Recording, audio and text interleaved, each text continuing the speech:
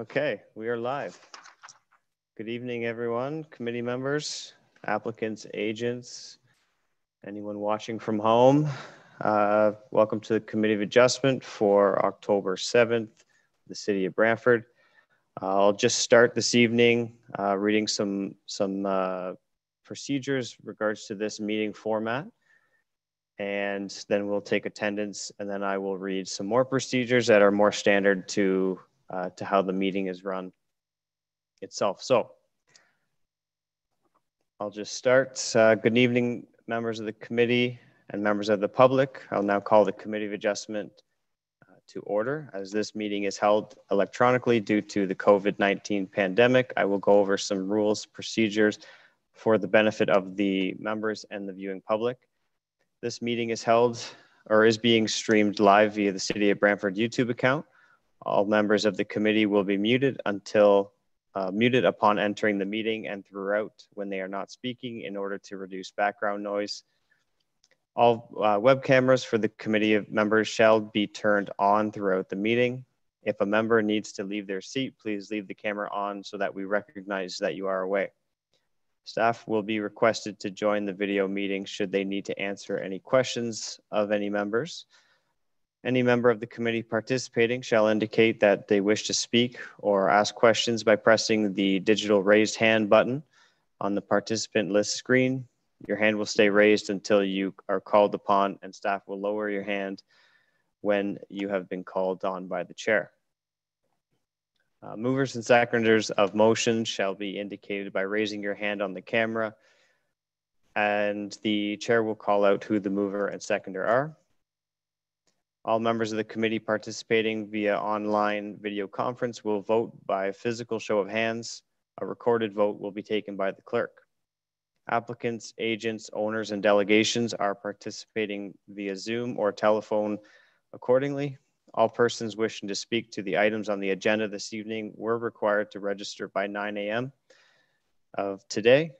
Uh, any delegations re uh, received in written format have been provided to the members of the committee and will form part of the meeting record. In the event that a connection service interruption occurs uh, that affects quorum of the committee, uh, we may recess the meeting for up to 15 minutes in order to allow uh, the meeting to regain quorum. If quorum is not achieved, the meeting is adjourned. So I'll ask the clerk to uh, take a roll call.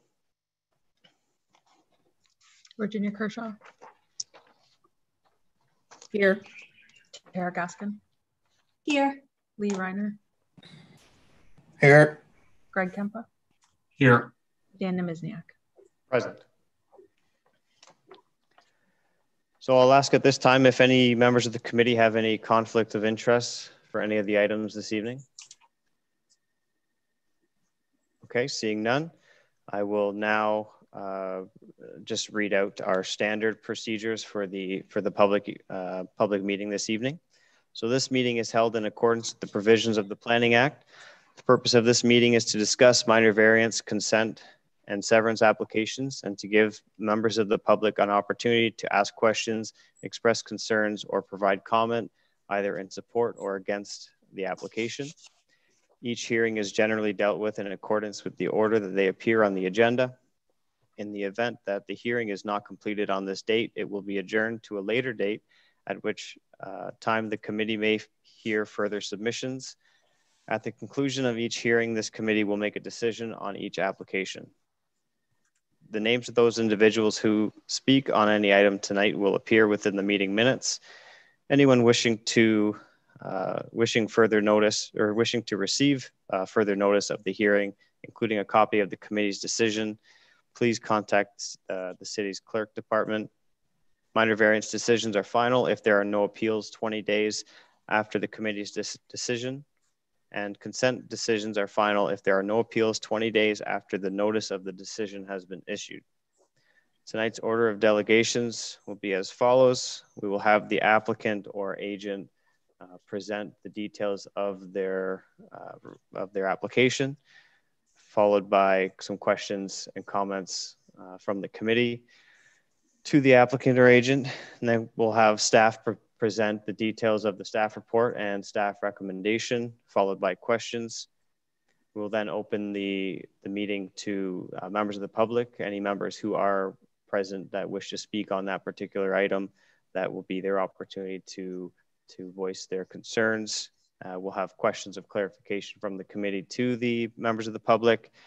Uh, once the public portion is closed, we'll allow the committee to ask any items of clar clarification from the applicant uh, or staff. This will also be an opportunity for the applicant or agent to provide clarification on any items that were discussed during that public portion. So with that being said, we, uh, we have a number of items on our agenda this evening. We'll get right to it. Our first item on the agenda is a minor variance application A15 2020. Uh, is the applicant present?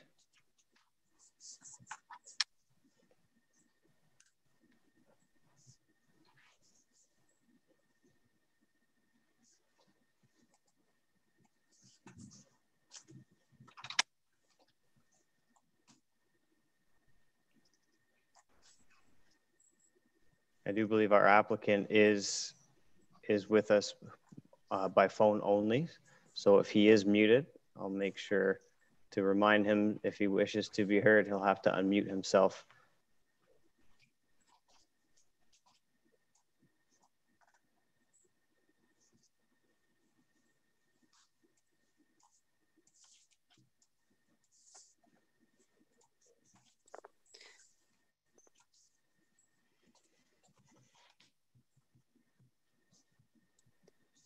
Mr. Talos, if if you're on your phone and you press star six, it should unmute yourself.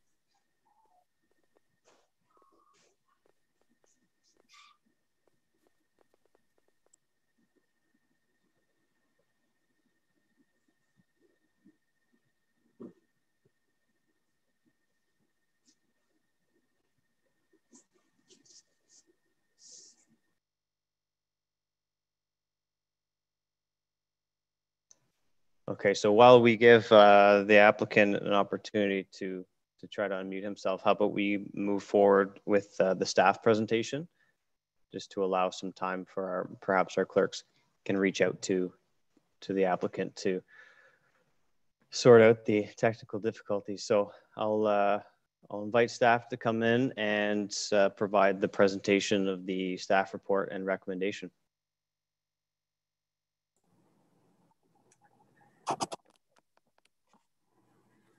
Okay, thank you, Chair um, and members of the committee. So this is a minor variance application for 15 Wynarden Court and 79 Buffalo Street. It is one property, just has two addresses. Next slide, please. The applicant is proposing to construct a detached garage on the property with an area of 279 square meters. And to facilitate this development as proposed, the applicant is seeking relief from section 6.3.1.2.1 of the bylaw to permit a maximum height of an accessory building of 7.3 meters, whereas a maximum height of 7.5 meters is typically permitted. The property is designated residential area low density in the official plan and zoned residential conversion zone. The property is located between Wynarden Court to the west and Buffalo Street to the east. The main access is off of Buffalo Street. Um, and then there is no access off of Wynarden Court. The property slopes downward with the higher elevation to the north and slopes down to the south. And the property is surrounded by residential uses. The CN rail corridor is approximately 65 meters to the south and there is a car collision repair service across the street at the corner of Rushton and Buffalo Street. The property currently contains an old dwelling, which is um, named Wynarden Castle. This property is subject to a heritage easement through the Ontario Heritage Trust. And the property also contains an existing detached garage and an existing legal non-conforming dwelling. So the proposed building would make a total of four buildings on the property. Next slide, please. Uh, this is the site plan. The proposed building is the gray square in the middle, um, and then the existing house and the existing storage are existing. Next slide. So the applic we circulated the application to all departments and agencies and no adverse comments or objections were received. We received comments from the Ontario Heritage Trust and they advise that they have no concerns with this variance as there are minimal impacts to the views to and from Wynarden Castle. We also circulated the application to the notice of public hearing, sorry, by personal mail and by posting a sign on the site. Um, at the date of preparing the report and since that date, we have heard from three residents and they all had clarification questions regarding the location of the proposed detached garage. Um, and the applic the residents were uh, provided clarification on that. Next slide, please. So this is the location where the proposed detached garage um, is proposed. Um, the subject lands, as stated, are de designated residential area low density, and this designation permits a variety of low density residential type dwellings, including semi-detached, single-detached, duplex, and triplex, and accessory structures, and the minor variance conforms to the official plan. The zoning on the property is residential conversion zone. The zone permits accessory buildings, but the accessory buildings are not permitted to be used for human habitation. The RC zone does not permit accessory, accessory dwelling units in these accessory buildings. The proposed accessory building will be used for parking and storage and is therefore a permitted use. The intent of the height restriction for accessory structures in the zoning bylaw is to reduce the potential for overlook and privacy concerns and for shadowing and to control the mass and built form of accessory structures onto neighboring residential properties. The request for the increase in height is in order to accommodate a second story for storage and to repurpose large antique stained glass windows from a former Brantford place of worship. These windows will complement the historic architecture of the existing principal building, which is Wynarden Castle. The proposed height of 7.3 meters is the same height as the existing dwelling on the property, which can be seen in the next slide. Um, so the proposed detached garage will be the same height as that dwelling. This dwelling is located closer to the Buffalo Street frontage, and therefore the proposed height will have a similar impact as the existing dwelling. And in addition, the proposed detached garage is further away from the adjacent properties, and there is existing mature veg vegetation, which will effectively mitigate any potential impacts from the increase in height. In staff's opinion, there are no ne negative impacts to adjacent properties and the intent of the official plan and zoning bylaw are maintained and the variance is considered minor and appropriate for the development of the lands. For the reasons mentioned above, the minor variance satisfies the criteria of section 45.1 of the Planning Act and staff recommend that application A15 2020 be approved. Okay, thank you. Um, I'll ask at this time if the committee members have any questions of staff. I think we are still working on on uh, on having the applicant connect. Um, but Lee, you have a question?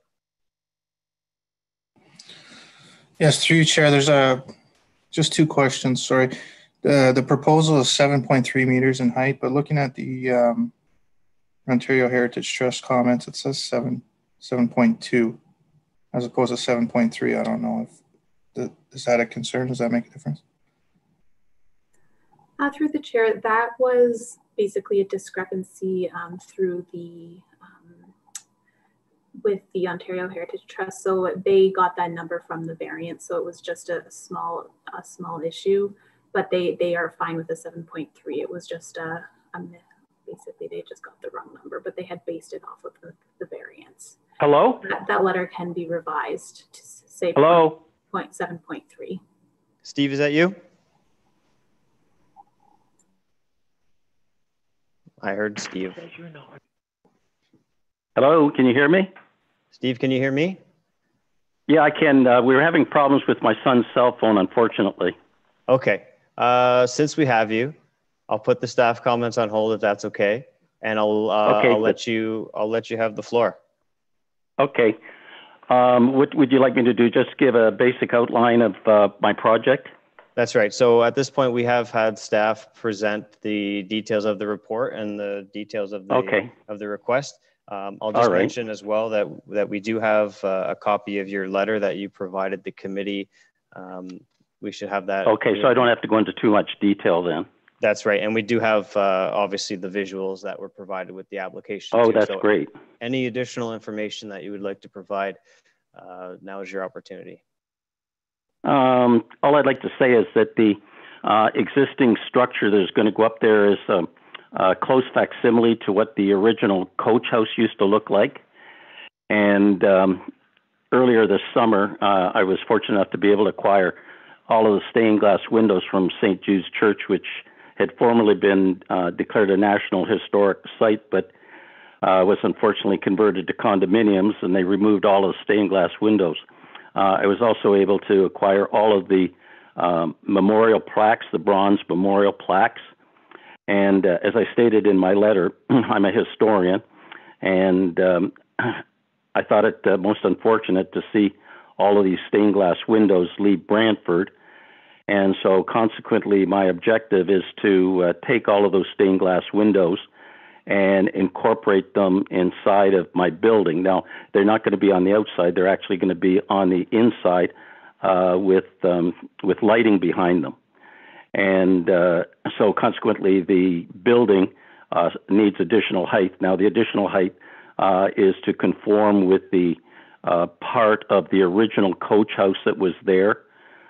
So, uh, as I indicated, uh, it's just a question of uh, increasing the height from 4.5 meters, I believe, to 7.3 meters. I don't know if the committee has any questions. I think I've outlined it in some detail in my uh, existing letter. Yeah, absolutely. You've gone into to some good detail in the letter and, and the graphics and the pictures help as well. Uh, yeah, ask- and uh, uh, and one further thing, uh, Kiki, who was uh, from Heritage Trust, she came down, and uh, she and the Heritage Trust uh, certainly supported my endeavor because um, over the time uh, period we've had this uh, property, uh, my family has tried to restore it and put back uh, most, if not all, of the original structures. And uh, and this particular building will be sort of the last part of the puzzle in terms of putting the original coach house back, which was uh, torn down in approximately 1950. Okay, interesting. Yeah, it's a uh, it's a very interesting proposal. I think I think anyone could appreciate what you're what you're trying to do. Um, I will I will ask at this point if the committee members have any any further questions of of the applicant. And I see no initial questions, uh, but since I have you, I will ask if there was any intention at all to I know it's not permitted and, and it's very clearly outlined in the staff report, um, but I was wondering if there's any intention to put a, uh, a residential dwelling up in the up in the loft space or or somewhere within this building. Not not at this particular time, no. Okay, just thought I'd ask. Okay. Um, okay, so any further questions from the committee to the applicant? If there's no further questions, I will bring staff back. I'll, I'll provide another opportunity for the committee members to ask questions of staff. Any further questions of staff? Okay, Lee, you're satisfied? Uh, Greg?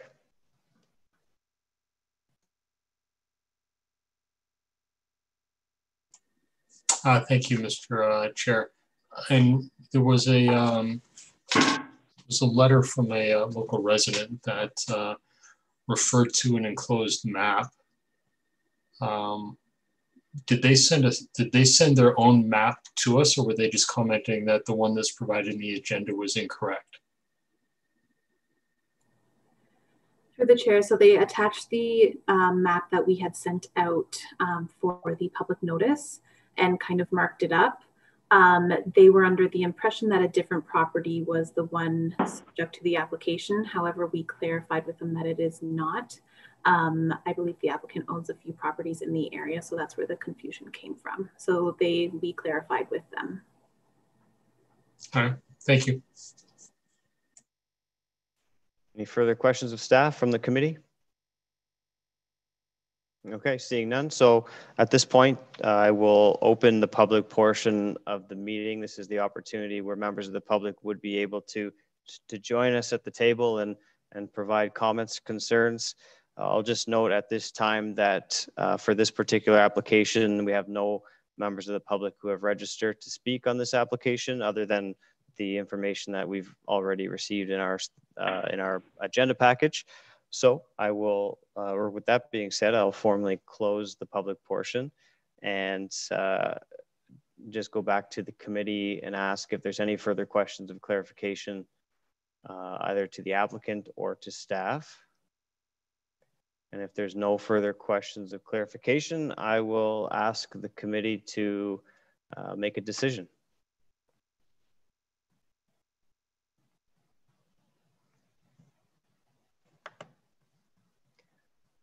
Any members want to throw their hand up to move a motion here? Greg? Uh, thank you, Mr. Chair. I would move that uh, application A15 stroke 20 um, be approved as, uh, as shown in the agenda. And uh, seeking a seconder. Lee? Any of the committee members have any discussion on that motion for approval? Okay, seeing none, so we will uh, we will have a recorded vote. So again, uh, when the vote is called, raise your hand and keep your hand raised until your name is called. All those in favor of the motion, please raise your hand until your name is called.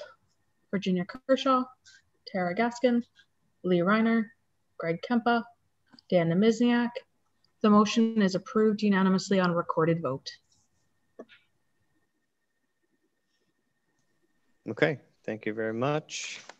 And uh, I'd like to thank members of the uh, uh, committee. And uh, hopefully, when the project is completed, they'll come and see it. Absolutely. Looking forward to it. Okay, the next item on our agenda is a consent application B14 2020 for 149 Albion Street. Is the agent present?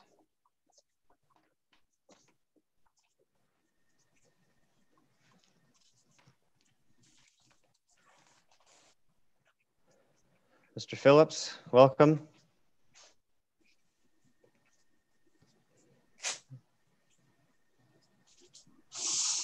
Thank you, Mr. Chairman, members of the committee. Uh, I'm here on behalf of Fred Rossi.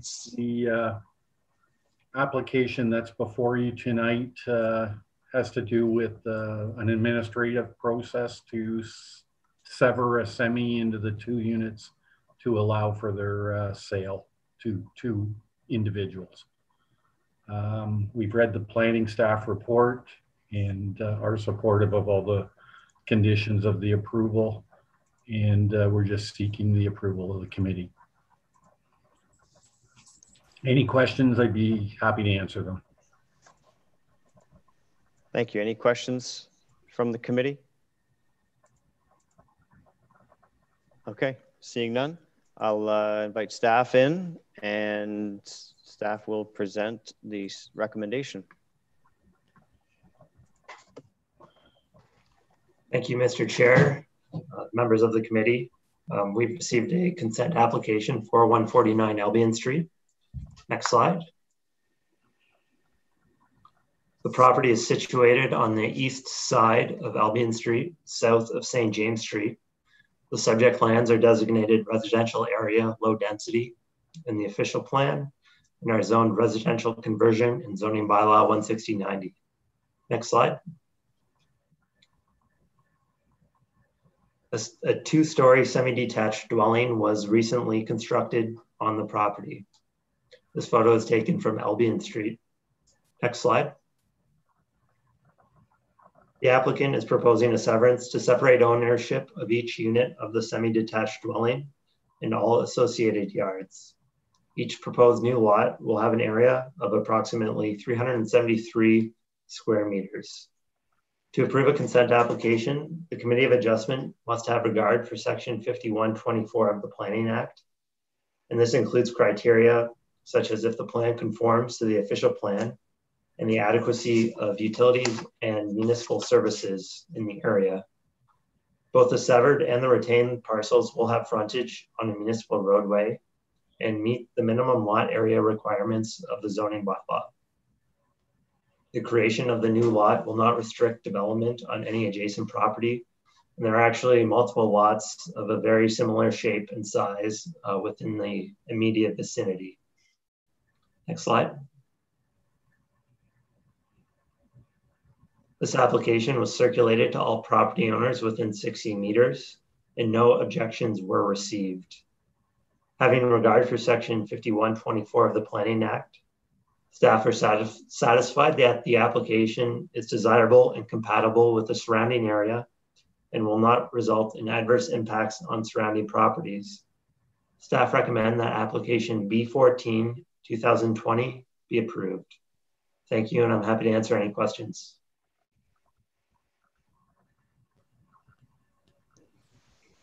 Thank you, Sean. Any questions from the committee to staff?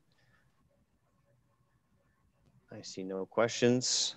So at this point, I will open the public portion of the of the meeting for this item. And I'll note that uh, there are no members of the public registered to speak on this item. And with that being said, I will close the public portion and I will ask if the committee members have any further questions of clarification to staff or or to the applicant or agent. And seeing none, I'll look for a motion for a decision. Lee?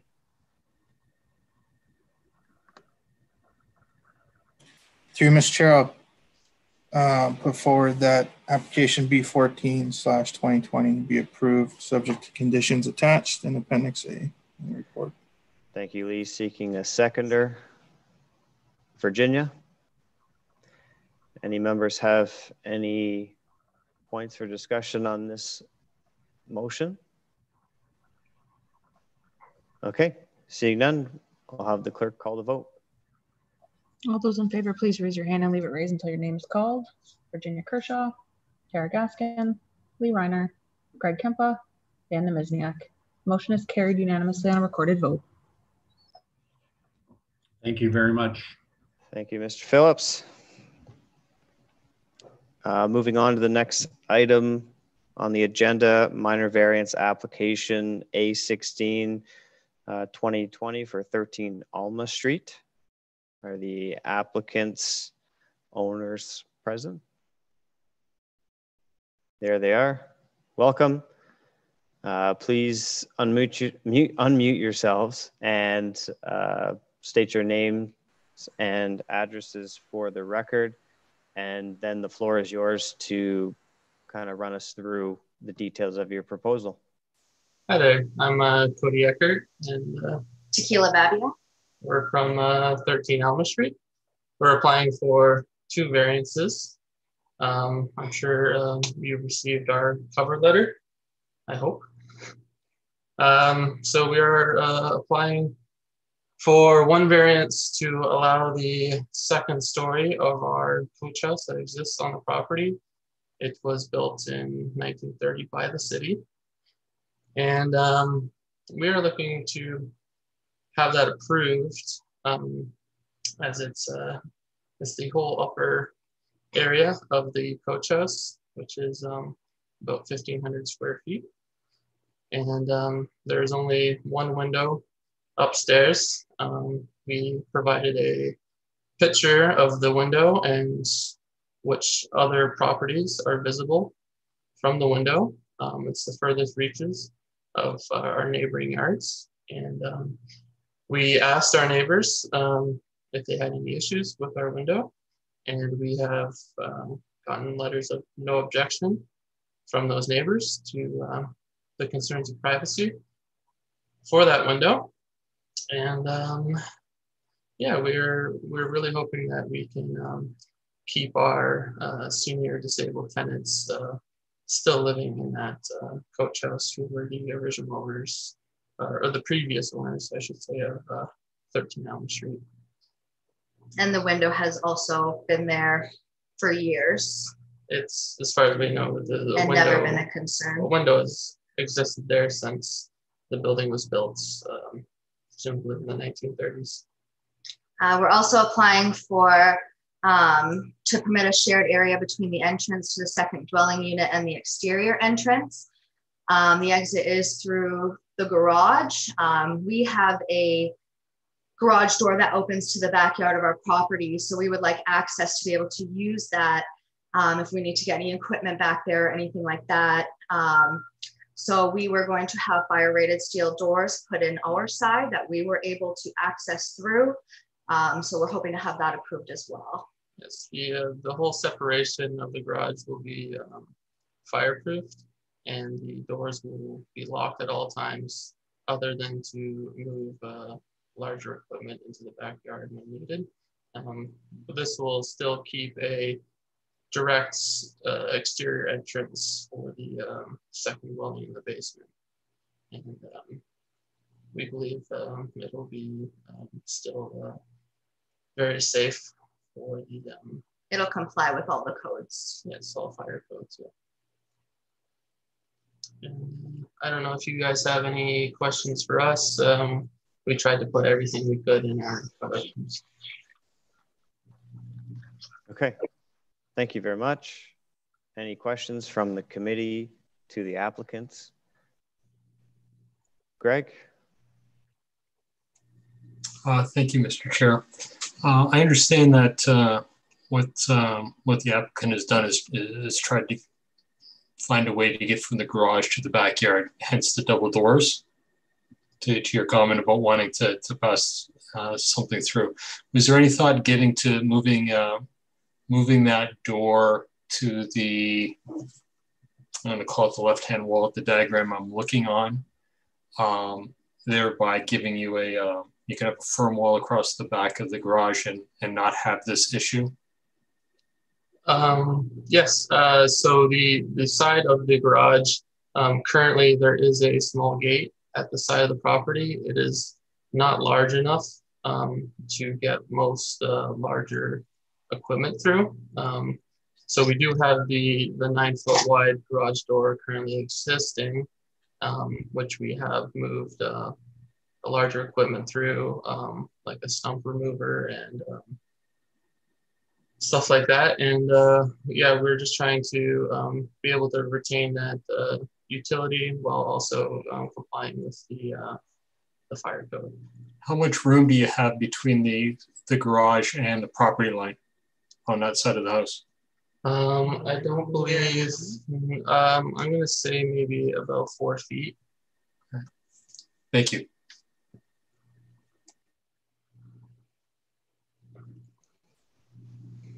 Any additional questions from the committee to the applicants? Uh, I just have just have one, uh, or maybe maybe a few. Um, how long historically? How long has that accessory structure been used as a residence? In your knowledge, Um, since November of last year, and what was it used uh, for before that? A computer museum.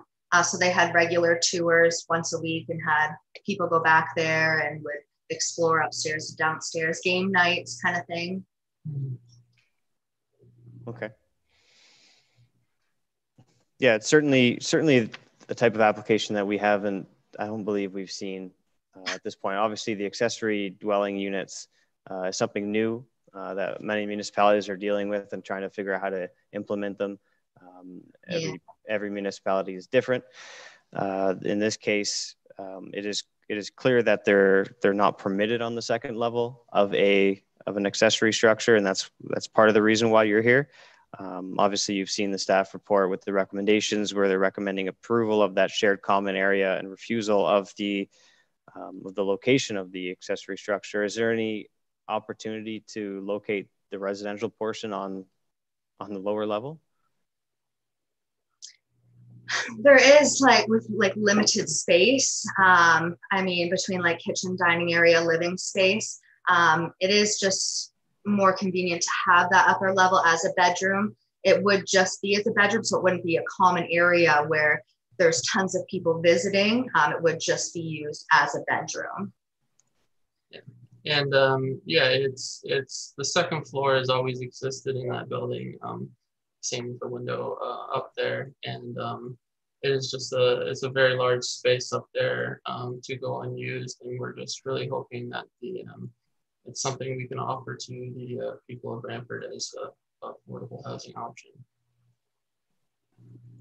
Absolutely, and just further to to your comments there, it's it's it's a the structure exists and it's been there for a long time, and it's certainly it's certainly not something uh, that anyone else could easily duplicate. I think it would be a much different situation if someone was looking to create this situation, but you know, this structure exists. You're yeah. trying to u- utilize the space that is already there. That's definitely. Um, any questions, further questions from the committee before we go to staff? Okay, seeing none, so I'll invite staff to to the table to present the details of the report and the recommendation.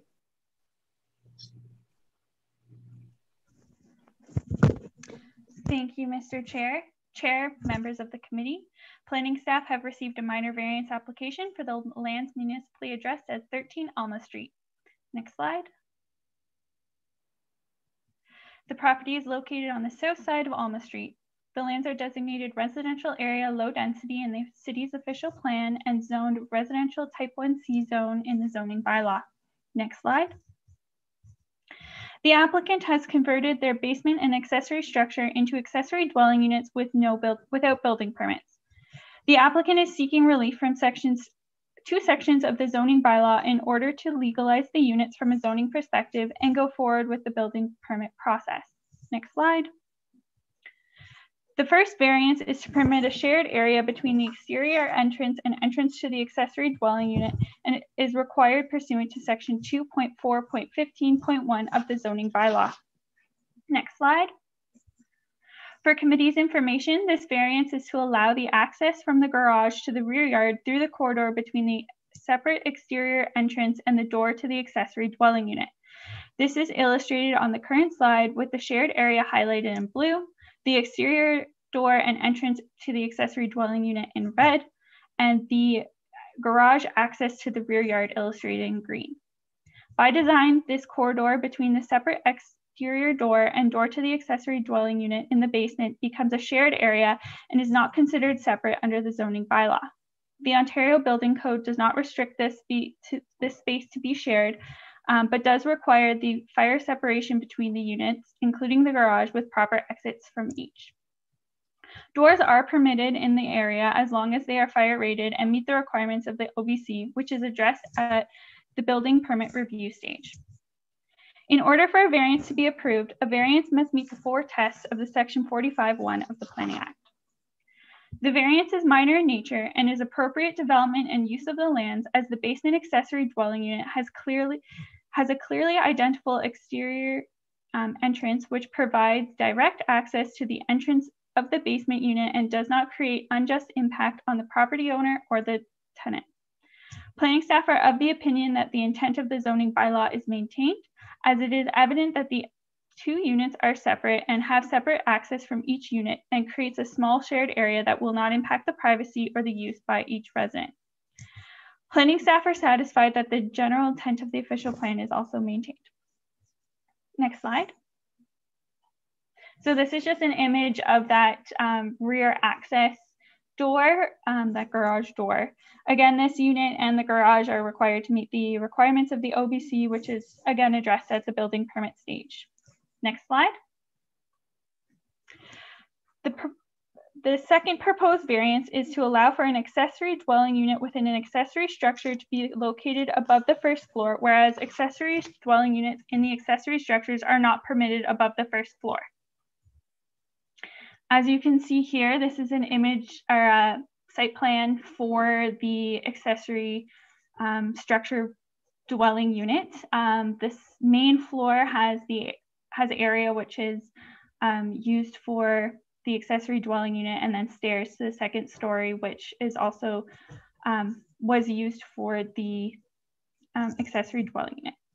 So the general intent of the purpose of this section of the zoning bylaw is to limit privacy and overlook concerns. Next slide, please. Upon the review of policies and comments from members of the public, planning staff are not supportive of the proposed variance. Planning staff were contacted by residents who were in opposition of this variance due to the overlook and privacy concerns. Planning staff are of the opinion that this exists that the existing situation does create overlook onto adjacent properties and impacts the privacy of the neighboring amenity space. In regards to variance two, it is planning staff's opinion that the proposed variance does not meet the intent of the zoning bylaw and is not, not minor in nature nor nor desirable for appropriate development and use of the land as it impacts neighboring properties and creates overlook and privacy concerns. Planning staff are, are satisfied that the general intent of the official plan is maintained as the accessory dwelling units are encouraged through the official plan. Planning staff are not supportive of the second variance and are of the opinion that the proposed variance does not meet the four tests of the Planning Act. Next slide. The map, this map illustrates the area of public notification. A notice sign was also placed on the subject lands. Multiple members of the public contacted staff in regards to the proposed minor variance application. A total of four residents contacted staff and two residents provided us with um, letters of opposition, which are, were included in the report. The following concerns were voiced by members of the public. The number of dwelling units on the property, depreciation of property values, concerns with permitting the use of a second story, including privacy and overlook concerns, increase in on-street parking, noise and animal complaints, concerns regarding the health and safety of the accessory units. Um, planning staff discussed these concerns with the members of the public and advised that the two accessory dwelling units are permitted under the recent amendment to the zoning bylaw and, as no and noted that the required three parking spaces are being provided on the subject property. Planning staff also advised that the units are required to meet the requirements of the Ontario Building Code, including window size, fire separation, and number of locate number and location of exits, which is again forced through the building permit process. At the time of the application, the applicant had submitted letters of no objection from some neighboring land owners whose lots were visible from the second story window of the accessory building. Between the two letters, there's a single member of the public which had signed both letters received. Unfortunately, planning staff were unable to confirm their opinion with a member of the public. A site visit was conducted on September 22nd. Upon completion and of this visit and review of the applicable policies, planning staff are supportive of variance one, which would permit the shared area between the exterior door and entrance door of the basement accessory dwelling unit.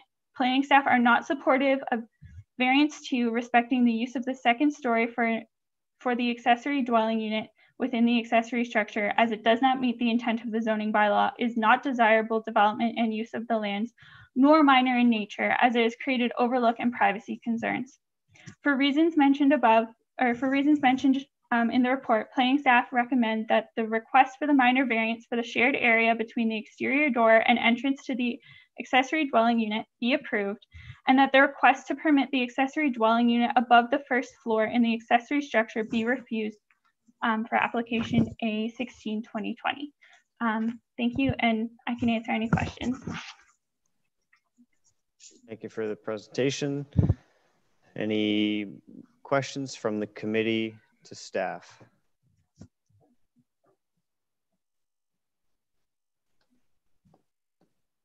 Uh, I just have one. Uh, I'm assuming because there's no further variance request or required for this uh, provision, but I would assume that it meets the size requirements or minimum size requirements for an accessory dwelling. Uh, yes, sorry, through you, Mr. Chair. Um, Yes, it does. Uh, if you go back to the, sorry, if, if they could go back to the um, slide that illustrated the accessory unit.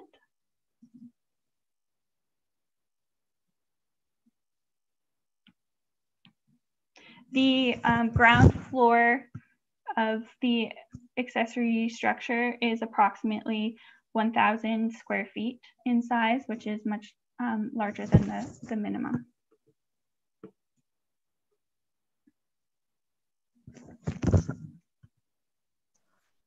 Perfect, thank you. Any further questions from the committee to staff?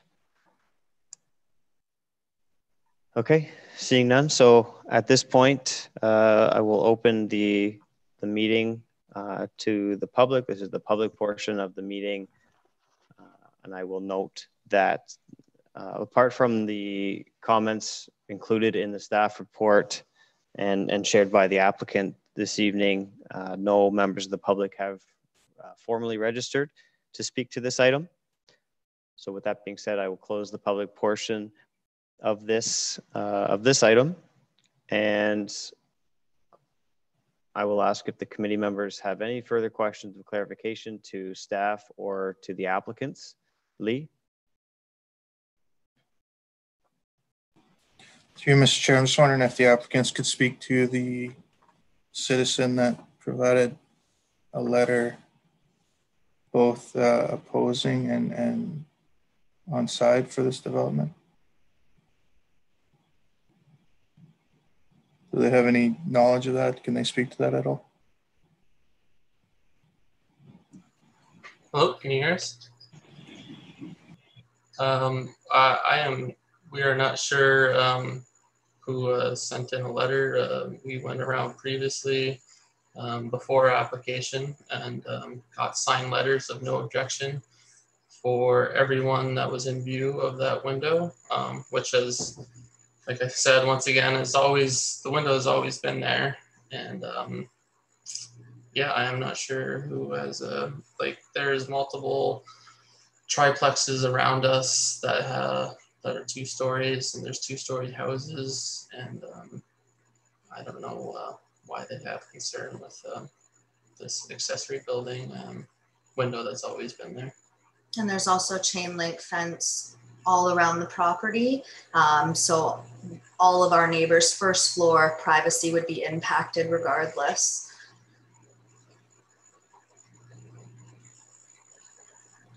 Is that helpful, Lee? Just uh, just running through a couple of the concerns, and perhaps you can you can uh, just kind of uh, provide a response for each. Can you just outline how parking will work and how uh, you anticipate garbage collection will work? Yes, so we have um, parking available for six cars in our driveway and two in the garage.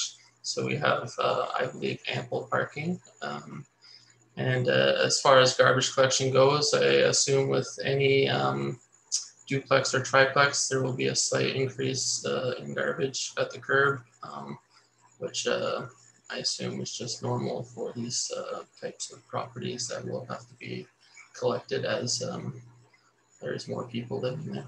As well, the parking is three car lengths long, so it would be an individual spot for each person with two spot, like a spot behind them as well. As well, on street parking, there's no parking objections all year round for street parking. So there's multiple street parking, probably about almost two and a half car lengths in front of our property alone. Okay, that's good. Very helpful. Thank you. Uh, any further questions from the committee? Virginia?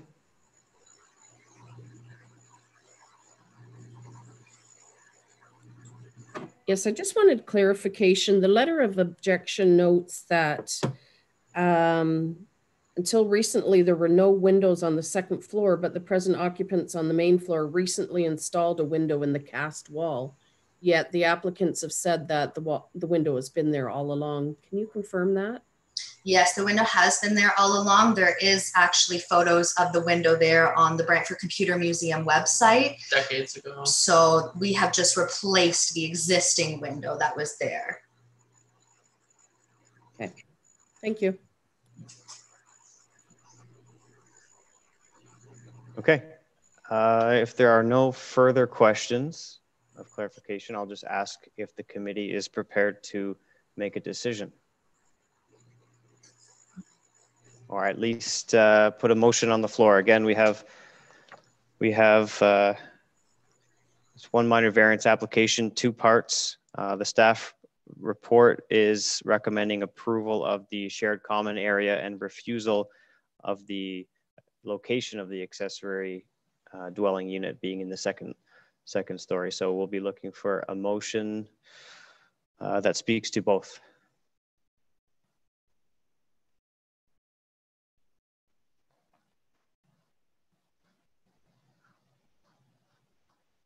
Virginia. Well, just to get it on the floor, I'll move that um, variance one for application A 16 2020 uh, regarding the common area be approved and variance two for A 16 2020 for the accessory structure be refused as noted in the agenda.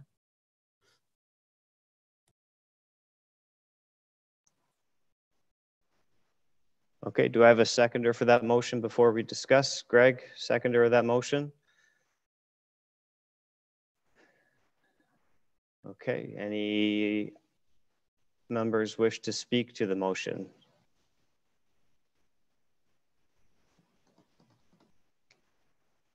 Mm-hmm. Okay, I'll provide some comments then. Uh, so, as, as is mentioned in the report, um, the the bylaws have been revised to, or at least modified, or they're introducing additional permissions for these uh, secondary dwelling units, um, which is a response to Bill 108, which is the provincial legislation. So all municipalities are, are kind of being encouraged to, to look at different ways to accommodate different types, different housing types. Um, providing or housing or dwelling units in an accessory structure is nothing new in other places. Um, it's it's certainly something new here. Um, all, all departments are, are certainly adjusting to the idea, uh, and that includes building uh, and, and planning as well. Um, building is obviously tasked with the, the idea of having to make these buildings safe for, for, uh, for occupancy. Um, that includes services, firewalls. You know, the residents have spoken in great detail to to what they have done and what they will have to do to make these buildings or this building, this structure, um, safe to accommodate the dwelling. Uh, the in terms of the location, uh, as I mentioned earlier towards the beginning, I, I think that uh, if someone was proposing a, a second story to a an, uh, to a new structure, that's a little bit different because the, the nuisance doesn't, doesn't necessarily exist. However, today the structure exists, it's been there for a long time. The window has existed for a long time. There's always been the ability to look out that window. So, um, you know, I, I truly feel that the nuisance, uh, the nuisance already exists and the impact, um, the impact is, is already there, which is, which is a minor impact. So um, I personally uh, will not be supporting this motion for those reasons. Uh, I feel like this is a great opportunity to introduce these types of uh, dwelling units to to an area that is that is appropriate, and uh, so that's that's how I'll be voting tonight. So I I would uh, I would be not supporting this motion. Any other members have any comments on the motion? Lee? Through Mr. Chair, my comment um, with respect to the motion and, and something that you spoke to, uh, the dwelling, the dwelling, I should say, the structure has been there um, for quite some time. I think the concern comes around the fact that there hasn't been people previously residing in it.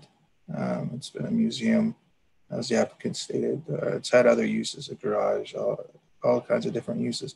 Um, there hasn't been somebody actually living in it.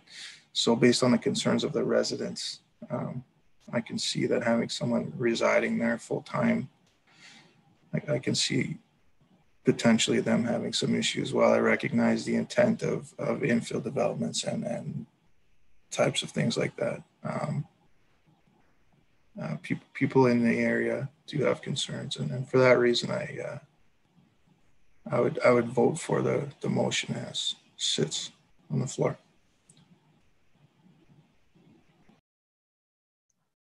Thank you, Lee. Any further comments from the committee? Yeah. Uh, do we have any further comments from staff? Clarification? Um, through you, Mr. Chair. Um, the comment, the um, request for the variance is for the use of the second story. The, the use, like the accessory dwelling unit is permitted in the accessory structure. So that would be continued to be permitted. However, the second story is what staff um, spoke to in the report and is um, what the variance is for. So that accessory dwelling unit and the three units total are, are permitted and would be continued to be permitted under the zoning. Thank you. Thank you for that. Any further comments? Greg? Uh, thank you, Mr. Chair. Um, I'm sensing that we might uh, we might get a split on two different uh, two different items here, and I'm wondering from a logistics point of view, do we need to deal with these as two separate items?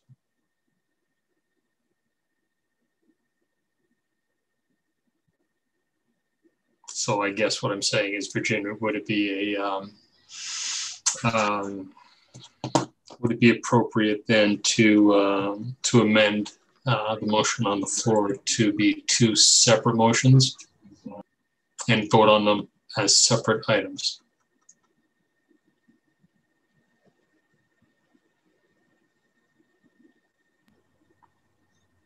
Uh, through the chair, this is Julia Sipple, uh, the clerk for the meeting. In regards to this, the way that the motion is and currently is on the floor, um, you can split the vote um, on the items themselves. So it looks like based on the way the report is drafted, you'd be looking at voting on clause A at the same time as clause C, and then pairing together B and D um, on the motion. I can share the motion again for you guys. Um, and then that way, what would be happening is you'd be voting on one variance uh, itself and then the other variance itself. And the committee does have the ability to do that if you request a separate vote on the variances. Greg, are you proposing that we vote separately on each item? I am, Mr. Chair. Okay. Do the committee members see that as a friendly amendment to the motion? It's not even an amendment. What are we calling it? Just splitting the vote. Valid request. Any objections to the splitting of the vote? Okay, seeing none. Uh, any further questions, comments on the motion? Everybody clear on what we are voting for? So the motion again, to remind everyone, uh, the motion on the floor is exactly as it's laid out in the staff report um, approval for the shared common area and refusal for the um, the ability for that accessory dwelling unit to extend into the second level. Uh, we'll be calling two votes. Uh, the clerk, three votes, says the clerk. The clerk will clarify before she calls the vote. So through the chair, just in regards to this, so you'll be doing a vote on clause A and C, and a separate vote on clause B and D. And there's still the remaining clause of E because regardless of either motion, that would need to be put in as a, in the notice. So we'll do, we would do a separate vote on E just out of the requirement itself. In case one of them fails, we don't want to fail clause E at the same time, so. Mr. Chair, um, uh, I, don't, I don't know if this presents a problem, but having seconded the motion and find myself having a bit of a change of heart on how I might vote on the second item. Should I be withdrawing my second for the motion as shown in the minutes? Julia? Through the chair, sorry, I wasn't sure if uh, our chair was going to respond to that. Uh, no, a mover and a seconder is not tied to how you vote. It's for purposes of placing an item on the floor for debate. Thank so you. through debate, if you have a change of heart, that is completely fine. Thank you. Okay, let's call the vote. All those in favor of clauses A and C, which is the approval of variance one for the reasons noted under clause C, please raise your hand and leave it raised until you hear your name called. Virginia Kershaw, Tara Gaskin, Lee Reiner, Greg Kempa, Dan Namizniak. So clauses A and C are approved. And all those in favor of clauses B and D, so that is the um, refusal of variance two and uh, the reasons noted in the report, please raise your hand and leave it raised until you hear your name called. Virginia, Lee, all those against the refusal uh, of B and D, please raise your hands and leave it raised until your name is called. Tara, Greg Kempa, Dan Namizniak. So clauses B and D, the refusal has failed on a recorded vote of three to two. Um, in regards to this one, from a procedural standpoint, by virtue of failing, the motion does not mean it is approved. A secondary motion would need to be placed on the floor to approve the item for the for specific reasons, which would also need to be noted. Um, and I would suggest dealing with that prior to dealing with E. Okay, so at this point, I'll be looking for a new motion to be placed on the floor uh, to be voting on B and D. And again, I'll need a, a reason for the motion. Um, and perhaps you could look to D to help guide some wording.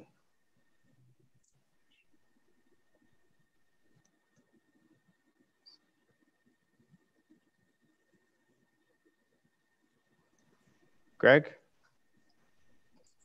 Uh, Mr. Chair, I'm going to suggest that I, I read it verbatim and just with just a couple of word changes. And that would be that application A 16 stroke 2020 requesting relief from section 6.32.8 of zoning bylaw 160-90 variance 2 to permit an accessory dwelling unit above the first floor of an accessory accessory structure and whereas accessory dwelling units are not permitted above the first floor in an accessory structure be approved. And that the reason for this approval is that the, the variance is, is in fact minor in nature and desirable for the development of the land. Perfect. Do I have a seconder for that motion? Tara? Any discussion on this motion? Virginia? I just had a question. Maybe I missed it in the report, but the first floor of this accessory structure, what's happening with it right now? Are you using it for another tenant, storage, or what's happening? Or what's your plans in the future for it?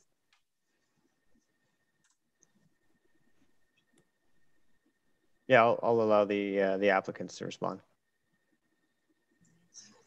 Yes, uh, so currently it is the living room and kitchen area of our elderly disabled tenants that were the previous owners that we were friends with um, when we bought the property and they didn't have anywhere else to go when we bought the property from them and um, we wanted them to stay with us on the property that they've been on for a long time. They've become our family.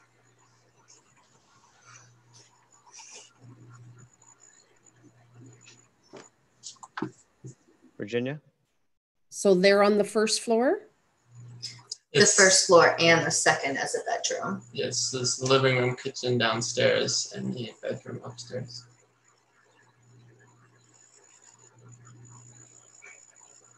There's no way to accommodate a bedroom downstairs, especially if they're disabled, as you say? How are they getting up to the second floor? Their disabilities may not be motor, but they do have disabilities. Um, just spacing wise, there's limited space to have um, a couch in there, dining room, um, so have a kitchen table. It's just limited for space The down, versus. the downstairs would need major renovations to um, construct any sort of bedroom um, down there. Um, I don't uh, see how it's really possible with the current layout. Okay, thank you.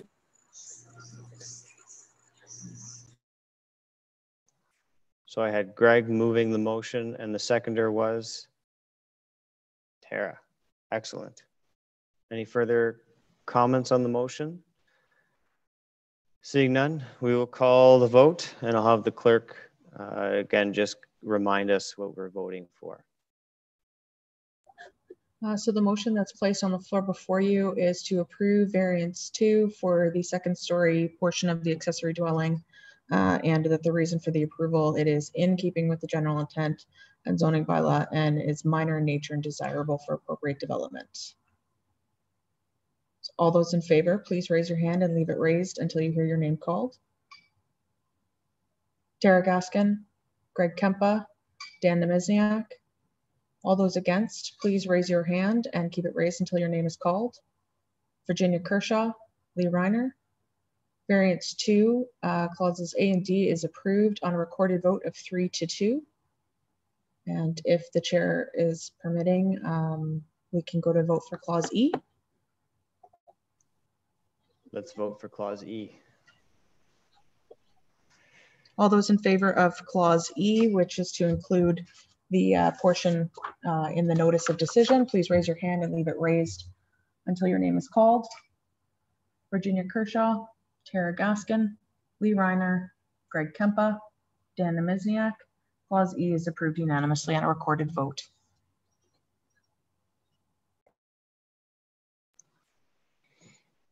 Okay, thank you very much for your time and your information. We will move on to the next item on the agenda, which is uh, consent and minor variance application B12 2020 and A18 2020 for 38 Golfdale Road. Is the applicant or agent present?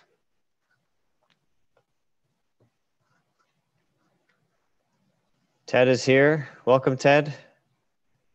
I will uh, turn the floor over to you. Before I do, I see you've unmuted yourself. Perfect. Uh, just introduce yourself, your address, and provide us with the details of your proposal. Excellent. Good evening, Mr. Chairman and community members. Uh, my name is Ted Tokars. I am the agent for my wife, Susan Tokars, and our address is 38 Golfdale Road. Our application for a consent and minor variance is to create a lot on the northern portion of the property. Uh, the relief would allow a minimum lot width of 22.23 uh, meters, whereas 24.5 meters is required. I would like to add uh, another thing here too, is that the, um, the minimum lot uh, uh, area is, uh, the required is 745 square meters. And the proposed severed lot will actually be 761 square meters. Our application does meet the, uh, the tests of the Planning Act and the boundary adjustment will have no adverse impact on the surrounding properties. Uh, we understand and agree to the conditions set forth uh, in the conditions of the consent. Mr. Chair. Thank you, Ted. Do I have any questions from the committee to the applicant? Okay, seeing none, I will ask staff to join us to present the staff recommendation. Thank you, Mr. Chair, members of the committee. We've received a consent and minor variance application for 38 Golfdale Road. Next slide. The property is located on Golfdale Road, north of Stymie Boulevard, and has an area of approximately 2,000 square meters. The subject lands are designated residential area, low density, in the city's official plan, and zoned R1A2 in the zoning bylaw. Next slide. Lands are occupied by a single detached dwelling with an attached garage and accessory structure. Um, this picture was taken from Golfdale Road and would be the retained lands if the application is approved. Next slide. Uh, this is a picture also taken from Golfdale and these, this part of the property uh, would, would be the severed lands if the application is approved. Next slide. So the applicant is proposing here to sever one new lot and retain the existing dwelling and remnant land. The existing garage and shed are proposed to be demolished to facilitate the severance application. As well, the, to facilitate the severance, um, a minor variance is required to permit a minimum lot width of 22.3 meters, whereas 24, whereas a minimum lot width of 24.5 meters is required. The severed lands will have a lot area of 763 square meters and the retains an area of 1,240 square meters. To approve a consent application, the Committee of Adjustment must have regard for Section 5124 of the Planning Act. These criteria include if the plan conforms to the official plan and the adequacy of utilities and municipal services. Both the severed and the retained parcels will have frontage on a municipal roadway and meet the minimum lot area requirements of the zoning bylaw as the applicant had previously alluded to. The creation of the new lot will not restrict development on any adjacent property. To facilitate the development as proposed, the applicant requires a variance to lot width to permit 22.23 meters. For this to be approved, it must satisfy the four tests of the Planning Act. In staff's opinion, the proposed variance is minor in nature as it is not expected to have adverse impacts on neighboring properties. It's desirable and appropriate for the development of the land as it will not restrict development on adjacent property. It meets the, the minor variance meets the general intent and purpose of the zoning bylaw and official plan as it will result in a lot that will appropriately accommodate a single detached dwelling and is in keeping with the existing character of the neighborhood. There are multiple lots in the immediate vicinity with similar or lesser lot widths, including those that have been created through the consent and minor variance application process. The proposed retained and severed lands will satisfy the minimum lot area requirement of the R1A2 zone. Next slide. The applicant, the application was circulated to all property owners within a 60 meter radius and one letter of support was received. I wasn't able to circulate this letter to the committee before this meeting, so I'm just going to read it word for word uh, right now. The, the nearby resident writes, regarding the application for adjustment to this property of 38 Golfdale Road, Brantford, Ontario, we are in support of this request for severance, allowing for the minor variance. We do not see it as detrimental to the neighborhood and would only further add value to the surrounding properties.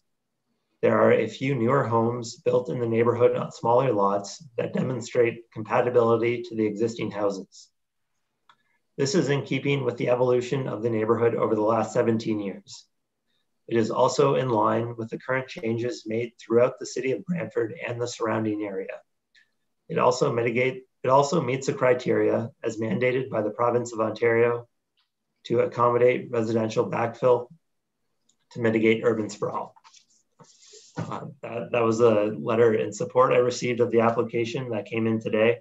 Um, we also received notice from an adjacent resident that they wish to participate in this meeting, and I believe they will be speaking after myself. In conclusion, having regard for section 5124 and section 45 of the Planning Act, staff recommend that applications B12 2020 and A18 2020 be approved. Thank you, and I'm happy to answer any questions. Thank you, Sean. Any questions from the committee to staff? I see no questions. So at this point, I will uh, formally open the public portion of the meeting. And this evening for this application, I do have uh, one registered or two registered uh, members of the public who wish to speak. They are together. Um, are they with us? There they are. Welcome. Thank you. Now is your your opportunity to to speak to this application. I'll just have you introduce yourself um, and anyone that's there with you and your address, and then the floor is yours. Okay. Um, thank you, Mr. Chairman. My name is Adrian Pinenberg. I'm here with my wife, uh, Barb. Um, we reside at 57 Golfdale Road, very, fairly close to, uh, uh, to Ted and, and his wife. Um, and I want to start by saying we don't have any uh, opposition to the application. We just really have two questions uh, for, uh, for Mr. Uh, the first is that it was our understanding because lot 22, which is the, the property immediately behind uh, the property in question, was severed just a few years ago. And it was our understanding that construction on those lots couldn't proceed because the infrastructure in the neighborhood had been tapped out, at least for the time being. So the, the, my question is just one of clarification. Is in fact, is that in fact the case? Or did we just get this information incorrectly? Yeah, we can have uh, staff make note and provide the response. Did you have any anything else? The, the second question was really just a, a, question as to whether or not there were plans to sever um, the the the property where the house would remain. Uh, it, it, appears as if the area uh, to the right of the house uh, could could possibly qualify as an additional severance. And I just wanted to to ask the question if there were any plans for severance in the future. Okay, good questions. Uh, we'll have staff respond first. I do I do remember uh, that application at 22 Gulf Road. It did come to the committee and was delayed or at least deferred for some time for that exact reason. And then it did come back to the committee. So I'll have staff respond to the infrastructure uh, capacity. And when staff is done, I'll call upon Ted. Through you, Mr. Chair, um, to the resident, I can I can give you an update on the uh, infrastructure capacity concerns. It was relating to um, sanitary capacity. Um, the the um, the plant that was having issues handling um, that that capacity has since been upgraded. Um, so you know, we've had notice from our engineering department that you know that part of this part of Brantford can now accommodate uh, future development. Um, one thing that they're they're now having uh, planning applicants do is fill out a, a wastewater allocation uh, request form, and they use that to assess if um, there is capacity to the, capacity in the area um, for these proposals, and they've confirmed that this is the case as the the pumping station has since been upgraded. And I, will defer to the applicant um, for the question regarding the, the remainder of his property.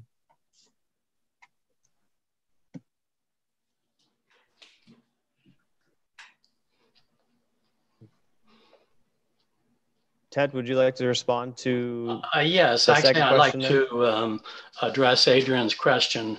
Um, yes, uh, approximately two years ago, uh, we did approach planning, and that was our our primary choice. With that, we like to sever that part of the property, but it's too small. It would need three variances. So um, we abandoned that and uh, looked at this option here. So I can say that there will be no no severance on that side. What were the three uh, variances required? Well, it, it, actually boiled down that we needed a boundary adjustment. That's the only way we could do it with, with one of the neighbors, but that wasn't feasible. It was, um, I, I really don't recall what it was. It was the depth, the, uh, it was the depth and the width the property was just it was just too small. Okay. Okay. Okay, thank you very much. Ted, one further question. What is, uh, I see you're removing the driveway, the, the attached garage and the shed. Uh, what are your plans for, uh, to, are you what are your plans to replace those structures on the on the other side, or what? Where's the location sure. of the driveway going to be? Okay, you'll have to. Okay. Yeah, our plans are the uh, the driveway has to be demolished. Uh, there is a shed on the other side, and it's not really a shed. It's more of a garden, um, a, a, garden house, a garden cottage. So our intentions are to move that over to the other side, and um, dependent on whether the um, uh, the building department will allow us to do that. The driveway will also be on the other side. The existing driveway will be removed, and uh, a, a separate walkway a, a new walkway will uh, proceed around to the um, the south side that uh, our neighbor was just talking about. Okay, and and uh, sorry, go ahead. And and we have no intentions of moving. Okay, that was that was going to be my next question. Uh, are you were you going to develop the lot yourself or sell it off to a future builder? Uh, we really don't know. We we do have an interested party, um, but we really don't know. Uh, it's been a, a, stress test getting this far, so we have a we have a year to decide what we want to do. And like I say, we have someone that uh, we have been working with uh, closely that um, he doesn't want to do anything with the property, but that's that's about all I can I, would like to share at this moment. Yeah, no problem. I just uh, I just thought I'd ask because obviously the area is very unique. The homes, uh, each home is different. The properties are are uh, beautifully manicured, and it's important that whatever goes on that in that space fits, contributes positive uh, characteristics to the existing area. Okay, uh, so we've had the residents uh, that were registered speak. I'll, I'll note that there were no further registered uh, members of the public wishing to speak to this application or, or these applications. So I will formally close the, um, the public portion of this application. And I'll ask if the committee members have any further questions of clarification to staff or the applicant? Okay, and seeing none, I will ask for a motion from a member of the committee.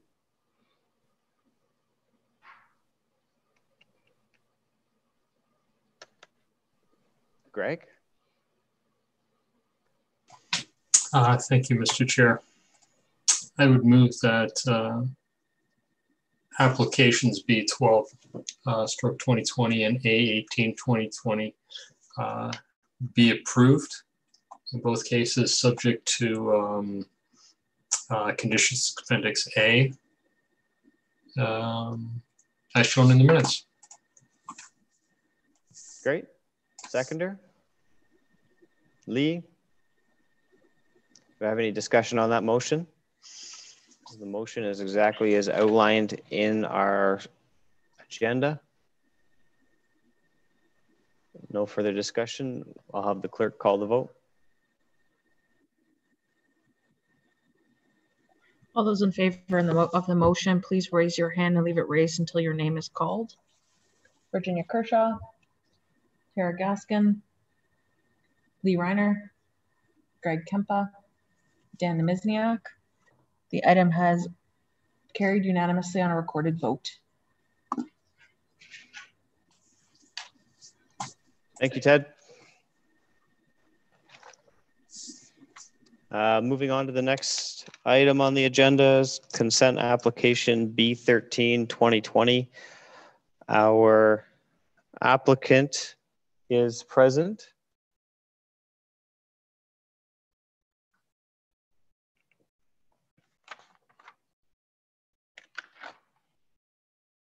Mr. Vance, welcome. Hi there.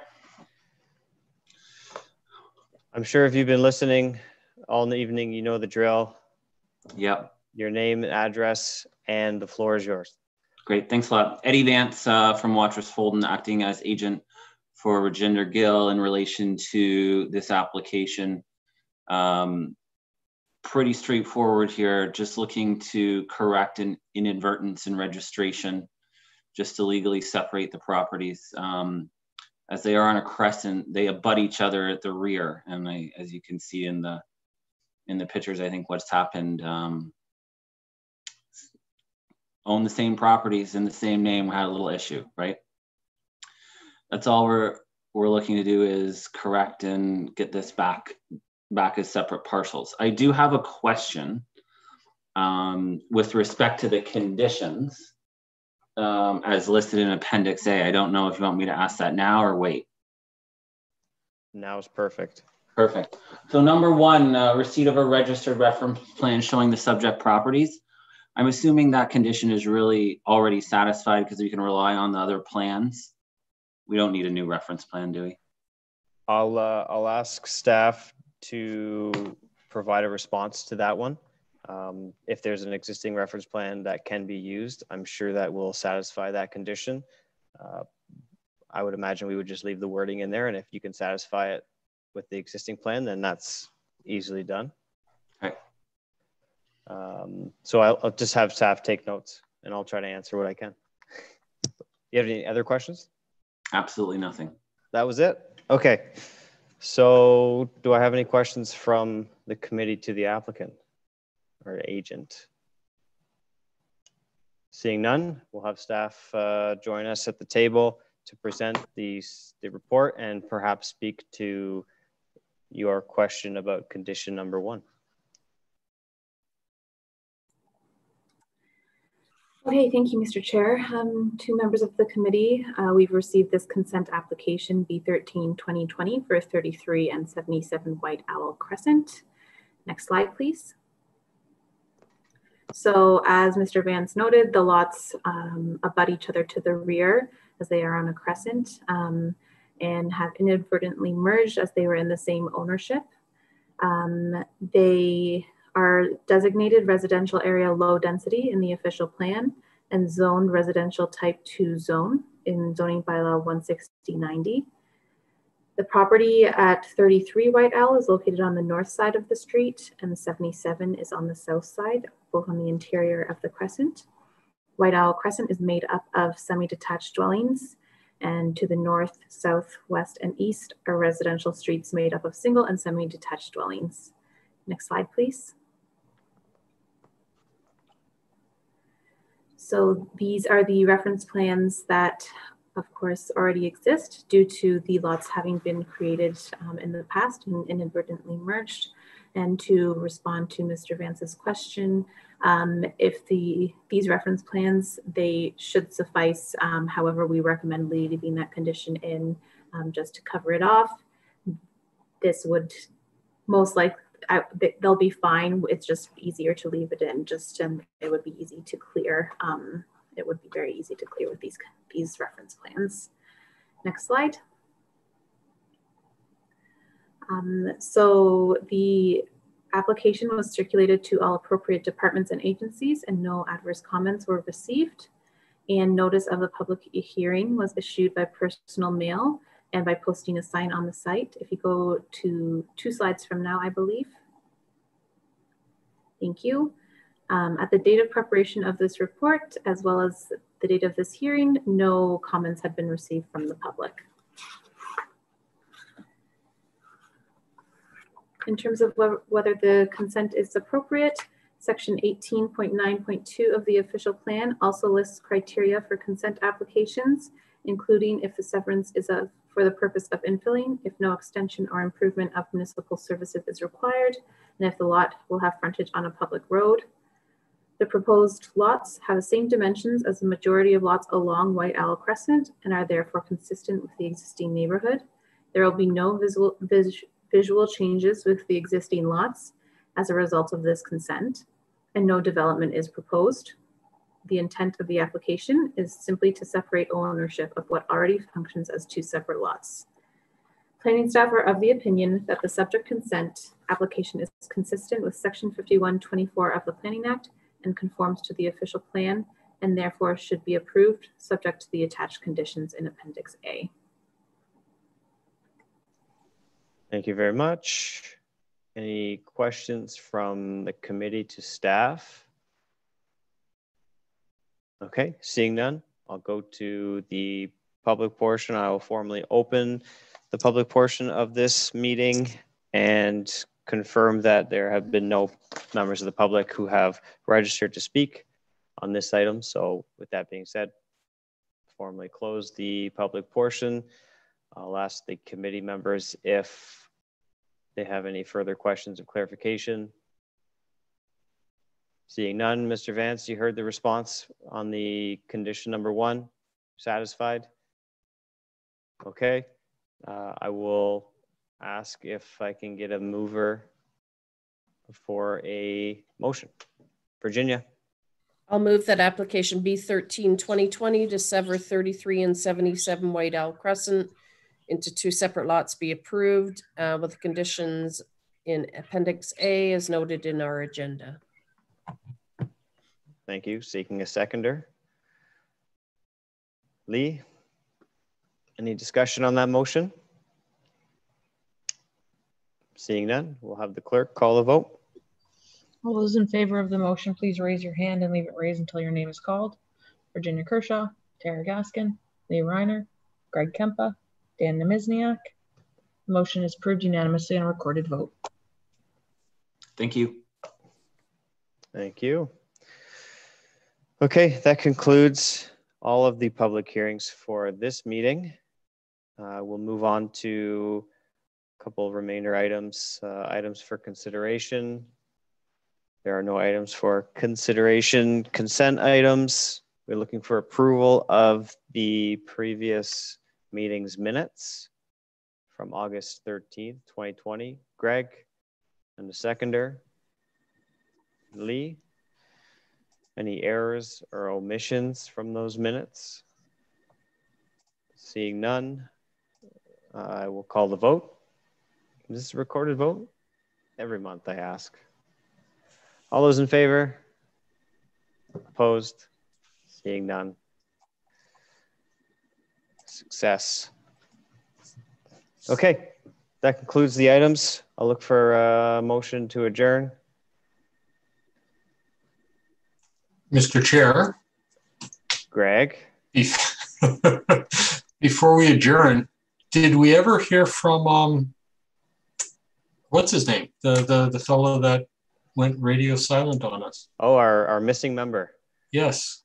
Any updates on vacancies or um, connecting to our missing member? Where's Waldo? Through the chair, uh, the the motion that was carried, a letter went out um, declaring the position vacant uh, to Mr. Savard himself. Unfortunately, no response whatsoever uh, from him. So the position is vacant, and currently the clerk's department is undertaking applications, uh, and it is posted. The position is posted until October 15th, with hopes to have it filled uh, by end of November. So uh, hopefully by the December meeting, we'll have a new member. Thank well, allow me to take this opportunity for those watching at home. If this is something you want to be involved in, you want to sit on this committee making these difficult at times decisions, please get your applications in and uh, and we'd love to have you. That was a free advertisement. There you go. Um, awesome. Anything else uh, the committee would like to share? Questions, staff, updates? Through you, Mr. Chair, um, the LPAT has provided a decision based for the 395 Park Road North um, application, which Committee of Adjustment had refused on a tied vote. The appeal was allowed and the variances from the section of the zoning bylaw were, were permitted. Okay. Thank you.